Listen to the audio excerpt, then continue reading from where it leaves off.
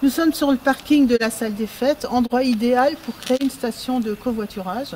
En effet, le covoiturage permettrait d'épargner la planète, cela permettrait à chacun d'économiser, de partager, et aussi à nos aînés qui n'ont pas de moyens de locomotion de se déplacer et éventuellement de faire des courses.